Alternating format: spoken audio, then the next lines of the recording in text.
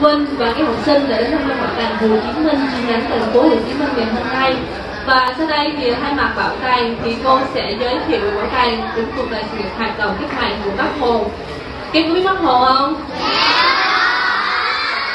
Rồi, gia đình của Bác Hồ gồm mấy thành viên vậy? Rồi, giỏi quá, 6 người đúng. Rồi, người đầu tiên trong gia đình là ai? Rồi, 4.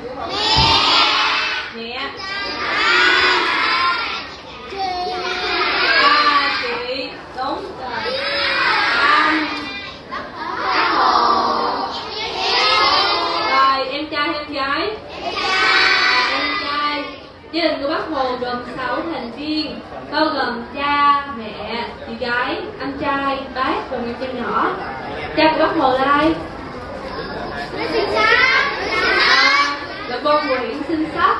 Ông sinh ngày 862 Là một cậu bé mồ côi nhưng rất hung minh học học Thời nhỏ nên được cụ hàng đường nhận nuôi trong học sau này lớn lên được cụ hoàng đường gả con gái là Hoàng Thị Loan trong quyền Sinh Sắc Năm 1901, ông học đỗ phó bạn tại kỳ thi tổ chức dưới kỳ vua thành Thái Còn mẹ Bác Hồ tên là gì? A là của bà Hoàng Thị Loan Bà sinh năm 1868 là một người phụ nữ đảm đang nhân hậu hết mực yêu thương chồng con của mình.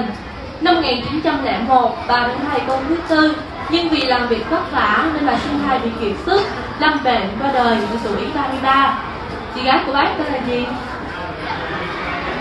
Biết chị gái của bác tên gì không? Tên là Nguyễn Thị Thanh.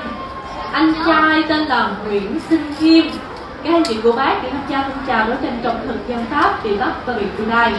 và các em thân mến thì bác hồ chúng ta còn có một em trai nhỏ tên là Nguyễn Sinh Dụ hay còn gọi là Nguyễn Sinh Xiên sinh năm 1901 nhưng vừa chào đời được vài tháng tuổi thì đã đời cho người yếu. Nên sau này không có gì công việc với em trai của bác hồ. Rồi còn nói về bác hồ thì à, các em còn nhớ ngày sinh nhật của bác không rồi bác hồ sinh nhật mấy?